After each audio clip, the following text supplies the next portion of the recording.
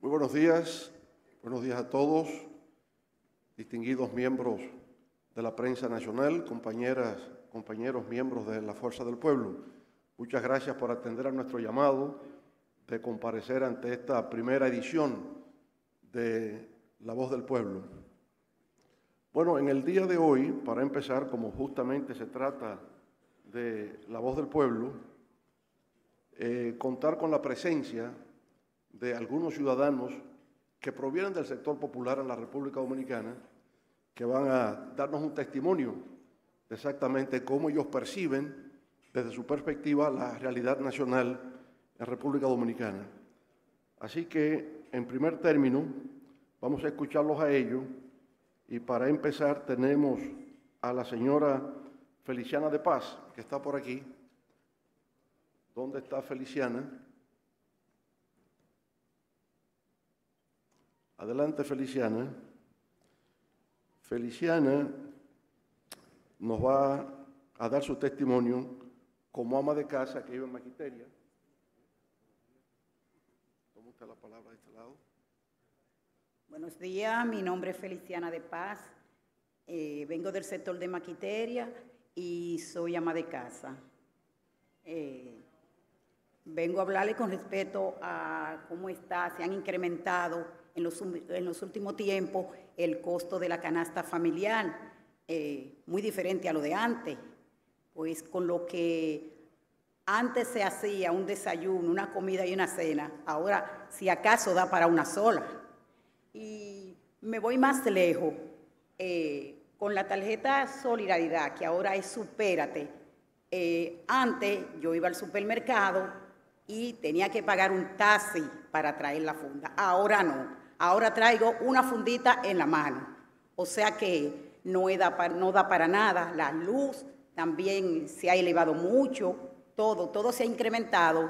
Entonces, eh, está bien difícil la situación. Por ejemplo, en mi casa eh, somos una familia de cinco miembros.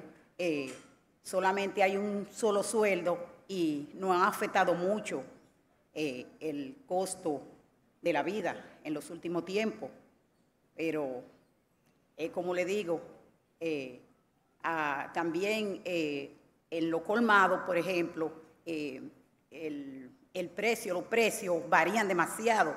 Hay que, no hay control de precio.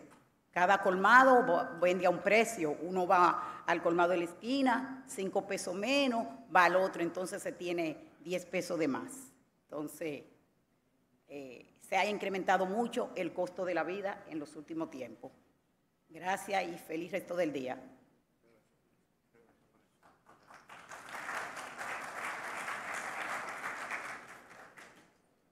Bien, ese es el testimonio, ¿verdad?, de Feliciano de Paz, una ama de casa de Maquiteria, que nos comparte exactamente cómo ella siente en el día a día el impacto del alto costo de la vida.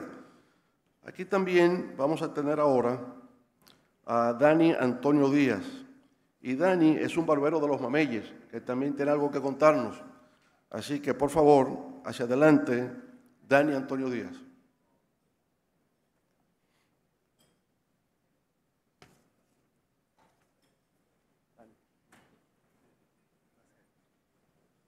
Buenos, buenos días. Eh, mi nombre es Dani Antonio Díaz, como dijo el doctor Leonel Fernández, y vengo a resaltar cómo nos maltrata la economía hoy en día.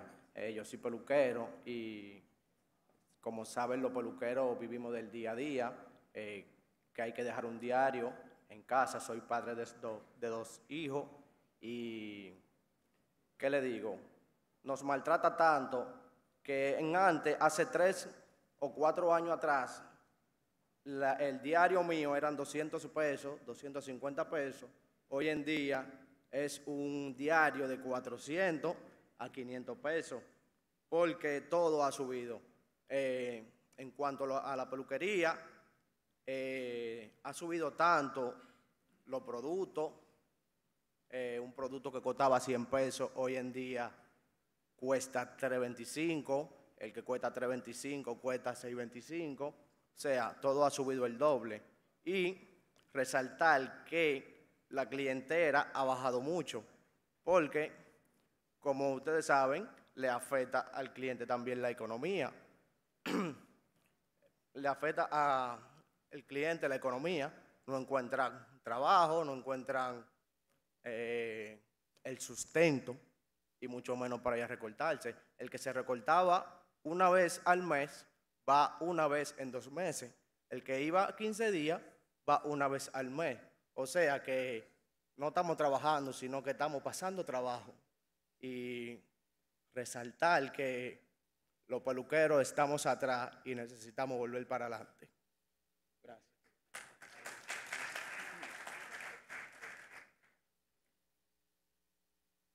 Bien, este, gracias Dani, Dani Antonio Díaz, barbero de los Mameyes. Y este, finalmente vamos a recibir a César y a Leonardo, que también están por acá, ¿no? Y quieren mostrarnos algo que ellos han exhibido por donde trabajan. Ellos de alguna manera quieren compartir con nosotros la forma en que ellos entienden se refleja la situación que padece el pueblo dominicano en estos momentos. ¿Cómo están ustedes? Saludos, buen día, Dios le bendiga a todos. Mi nombre es César Napoleón Torres, él es Leo Núñez, yo soy artista plástico, él es vendedor de cuadros y debido a la situación, la realidad en la que se encuentra la economía, o sea, la realidad que está viviendo la masa pobre de la República Dominicana en lo concerniente a lo, a lo financiero. Entonces nosotros decidimos, como nosotros hacemos cuadros, hacer este retrato de la verdadera cara del cambio. O sea, la realidad de cómo están las cosas, la situación en, nuestro país, en la, en la, clase baja. Mire, anteriormente comprábamos un sobrecito de aceite. Un sobrecito de aceite costaba 10 pesos, ahora cuesta 25. Un litro de leche que costaba 58 y 60 pesos, ahora cuesta 90 y 100 pesos. Una libra de arroz, una libra de arroz que costaba 20 pesos, ahora cuesta 40 y 45. Una libra de azúcar del azúcar crema que costaba anteriormente 20 pesos, ahora cuesta 40. Una libra de azúcar blanca que anteriormente costaba 30 pesos, ahora cuesta 55 y 60 pesos. Mire, doy lo que les voy a decir, mi gente. La, harina de maíz mazorca nunca había subido en este país. Oiga, usted iba al colmado a comprar una libra de harina de maíz mazorca y usted siempre iba a encontrar el mismo precio. Ahora usted va a comprar una libra de harina de maíz mazorca, costaba 15 pesos, ahora cuesta 30 y 35 pesos. Los colmados se han vuelto un campo minado. Oiga, usted tiene que ir con mucho cuidado cuando usted vaya al colmado a comprar algo. Porque usted encuentra un precio hoy, pero mañana cuando usted vaya debe encontrar otro precio. Y si usted le dice algo al pulpero, usted le reclama porque usted le dice, oh, pero ven, ¿acaso costaba? Él le dice, no, pero si tú lo compras si tú quieres. Porque cuando nosotros tenemos que ir al supermercado, cuando nosotros tenemos que ir al, al almacén, los pulperos, a comprar, entonces ellos también tienen que enfrentar la situación de la caretía de los precios. Si el cambio sigue, la macamos. Ya lo saben.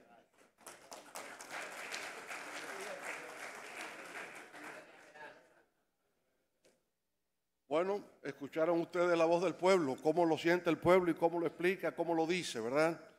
Ahora vamos a tratar de sustentar eso que ellos han dicho conforme a su estilo y de acuerdo con sus palabras y el cómo lo perciben. Nosotros entendemos que en realidad la inflación, el alto costo de la vida, ha sido uno de los graves problemas que hemos tenido en la República Dominicana desde el 2021 a la fecha. Y que el gobierno ha sido incapaz de poder aplicar políticas públicas orientadas a defender a los consumidores, es decir, al pueblo, al pueblo dominicano con respecto a este tema de la inflación o el alto costo de la vida. Conforme al Banco Central, la inflación meta que se establece desde el año 2012, el Banco Central lo empieza a establecer a partir del año 2012, la meta inflación ellos la llaman como 4 más o menos 1, lo cual quiere decir que la inflación no debe pasar más del 5% ni debe ser menos del 3%. Y por tanto, lo ideal es mantenerla en 4. 4 más o menos 1 es la meta inflación que plantea el Banco Central. En el año 2018, prepandemia, la inflación era 1.2%. Bueno, y en términos generales, desde el 2012, cuando el Banco Central crea el concepto de meta más o menos 4, más o menos 1, desde el 2012 nunca la inflación había sido por encima del 4%, nunca. Pero en el 2018, insisto, era 1.2%. 2021, ya con el nuevo gobierno, la inflación llegó a 8.50%. Multiplicó siete veces su valor con respecto al año 2018. 8.50%. O sea, se excedió de la meta inflación que plantea el Banco Central. 2022, el índice de precio al consumidor, 7.83%. 2023, el año pasado, 3.57%. Aquí el Banco Central dice que al descender a 3.57%, pues se ha cumplido con la meta inflación. Pero en realidad, este es el primer gobierno que ha incumplido con la meta inflación del Banco Central a partir del 2021 y 2022. Explico. Cuando se habla de que la inflación ha descendido a 3.57%, no es que los precios han bajado. Significa simple y llanamente que el aumento de precios continúa, pero a una velocidad menor a lo que se tenía antes. ¿Correcto? De manera que aquí los precios no han bajado. La inflación no ha bajado. Lo que ha bajado es la presión inflacionaria, que es un concepto diferente. En los últimos, en los 31 meses consecutivos, desde que este gobierno se instaló, 31 meses consecutivos, la inflación superó el 5% límite de inflación del Banco Central.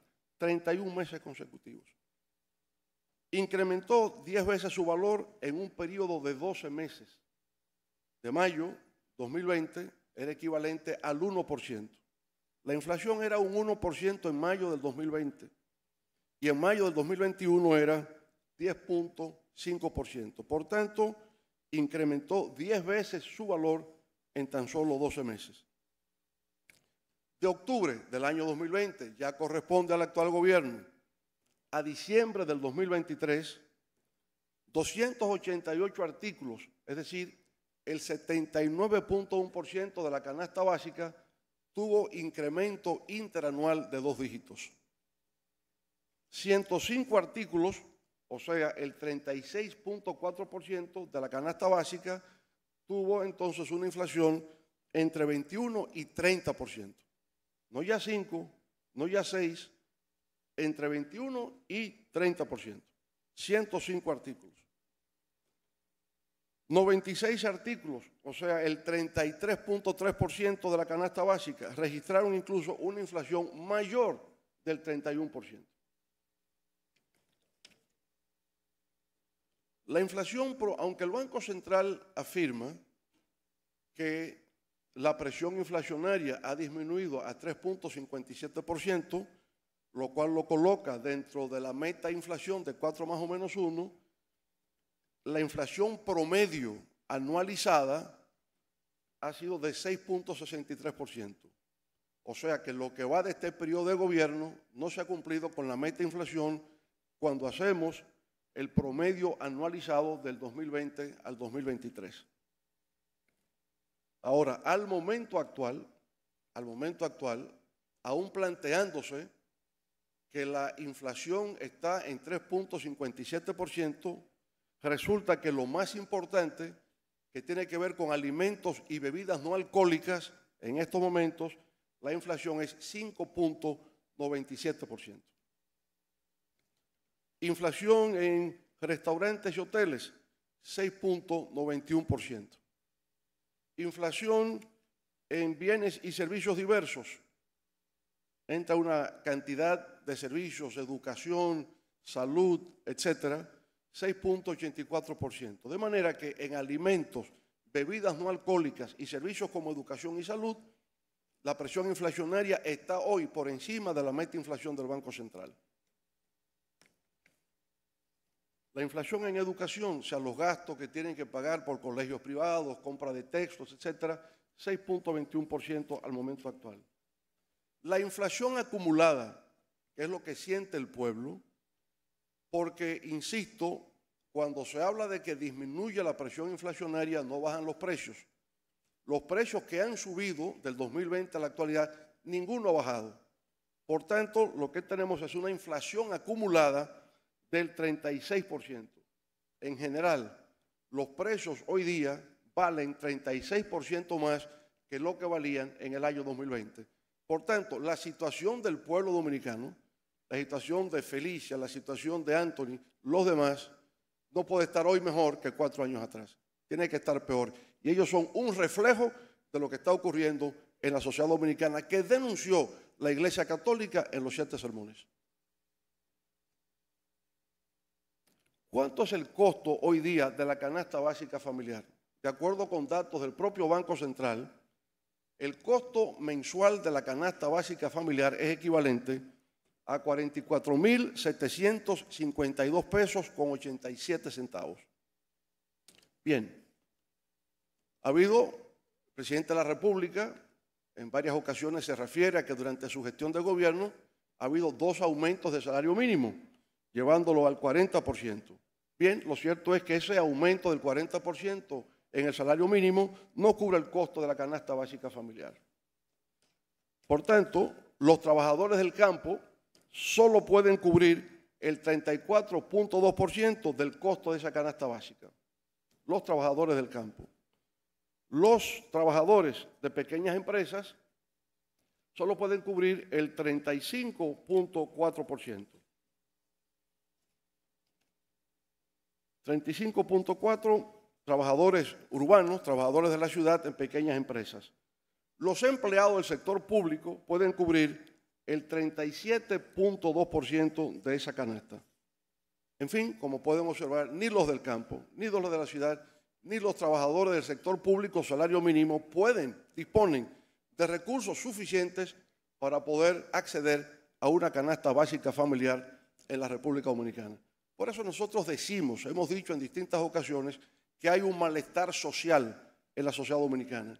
Y ese malestar social obviamente se debe a una disminución del poder adquisitivo del pueblo dominicano debido a los altos precios que tienen los artículos de esa canasta básica. El gobierno, el actual gobierno del PRM de Luis Abinader, ha introducido en distintos momentos planes para frenar el alza de los precios, sobre todo de alimentos. El primer programa se llamó Siembra RD.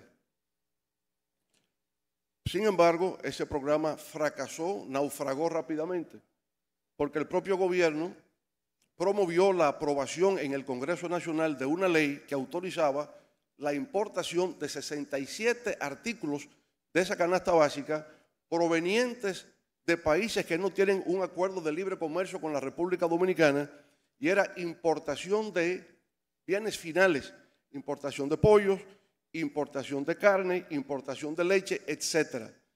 Y esos artículos estaban exentos del pago de arancel. De manera que una política de siembra RD se vio contrariada con una política, todo lo contrario, de importación de bienes finales exentos del pago de arancel que no bajaron los precios. Se importó pollo de Brasil, se importó carne de Argentina, se importó leche y los precios no bajaron como consecuencia de esas importaciones, pero sí afectaron a los productores nacionales. Los productores de pollos, los productores de huevos se vieron afectados con una competencia desleal de importación de esos productos sin tener que pagar los impuestos en aduanas. Fracasó el programa Siembra RD. Después vino combo de Inespre. ¿Alguien se recuerda en estos momentos de combo de Inespre? Nadie se recuerda del combo de Inespre. Nos recordamos del combo show de Johnny Ventura, de muchos años, pero no del combo de Inespre. Ese no lo recordamos. ¿ah? Y luego, más recientemente, del campo al colmado. El presidente habló de un programa que se llamaría del campo al colmado porque entendía que la inflación se debe fundamentalmente a la especulación de los intermediarios y que son los intermediarios los responsables, los culpables del, alza de los precios de los artículos de la canasta básica.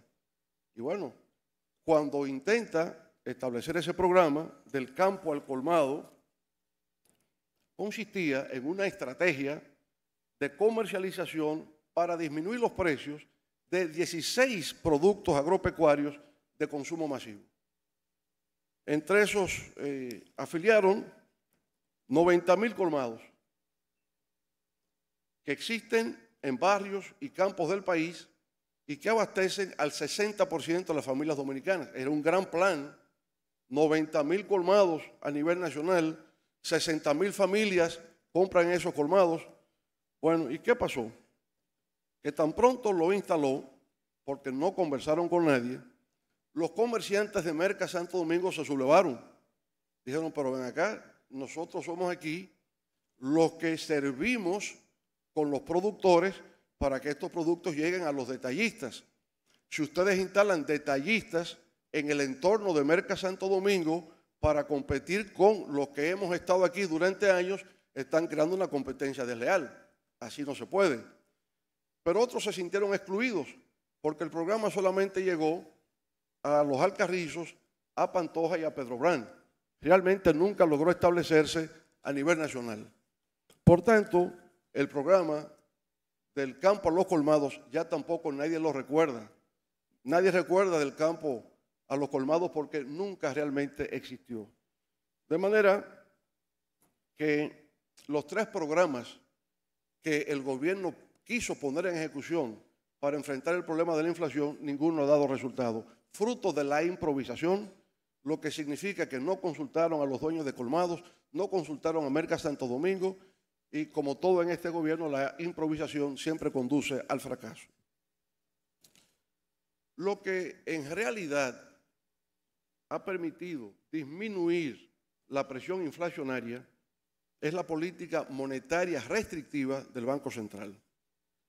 Y el Banco Central, por consiguiente, lo que ha hecho es aumentar las tasas de interés, a sacar circulante, sacar circulante del mercado y con eso ha frenado el crecimiento de la economía. Y por esa razón, el año pasado, la economía dominicana solamente creció 2.4% del PIB. De manera que tuvimos las dos desgracias, precios altos y bajo crecimiento. Y eso se lo debemos a este gobierno. A este gobierno que supuestamente trabaja para los pobres, pero lo que ha hecho es, ha empobrecido más a la República Dominicana. Porque si la economía no crece y nosotros tenemos una tradición en República Dominicana de un crecimiento promedio anual de un 5%. En 50 años, en 50 años, la República Dominicana ha sido uno de los países con mayor nivel de crecimiento en toda América Latina porque ha logrado mantener 5 puntos por ciento promedio anual. Y eso se aceleró en los últimos 26 o 27 años en que pasamos incluso a tener 6% promedio de crecimiento anual. Ahora hemos caído a 2.4%. Y si en los meses de enero y febrero se dice que hemos crecido 5 y 5.1%, hay que recordar que fue que en enero y febrero del año pasado crecimos 0 o 1%. Y por tanto, cuando tiene bajo crecimiento interanual, se produce lo que se llama el rebote estadístico. De manera que cuando este gobierno tiene un crecimiento por encima de 5, siempre ha sido por rebote estadístico. Por ejemplo, en el año 2021, el gobierno dice que crecimos 12.3%. Ajá, pero ¿cuánto crecimos en el 2020? Menos 7%. Cuando crece menos 7, creciste 12, pero ese 12.3% no es un crecimiento orgánico. Es en relación con una severa contracción que ocurrió el año anterior. Si lo compara con el 2019, que es el año de la prepandemia, el propio Banco Central tuvo que reconocer y publicar en su plataforma que el crecimiento orgánico del 2021 fue tan solo 4.7%. El propio Banco Central lo tuvo que reconocer. Pero el gobierno sigue utilizando la cifra manipulada del 12.3% para entonces decir que en sus tres años y medio de gobierno la economía ha crecido 6.3%. Falso, ha crecido 3.6%. Nada más 3.6%. Eso se llama manipular al pueblo dominicano. Pero el pueblo es más sabio, Aquí viene la gente y dice, todo está caro y no tenemos dinero para acceder a esos bienes y servicios. Esa es la realidad que existe hoy día en la República Dominicana. Bueno, entonces, con esa situación, como ustedes pueden observar, el problema sigue siendo inflación y en estos momentos falta de circulante para que el pueblo pueda acceder a satisfacer sus necesidades básicas. Y eso es lo que plantea la fuerza del pueblo. La fuerza del pueblo entiende que la mejor manera de poder realmente superar la situación de inflación consiste en incrementar la producción, incrementar la producción sobre todo de alimentos en la República Dominicana. En lugar de importar bienes terminados exentos del pago de arancel, lo que hay que importar insumos para la producción nacional. Facilitar créditos, subsidios por parte del gobierno durante un año aproximadamente, el tiempo que permita la recuperación, aumento la producción, por tanto aumento la oferta y si aumenta la oferta disminuyen los precios. En eso cree la fuerza del pueblo y por eso ha fracasado el gobierno porque no cree en principios básicos de la economía, porque tal vez sus políticas responden a satisfacer intereses de grupos vinculados al gobierno, pero no en función del interés de la mayoría del pueblo dominicano.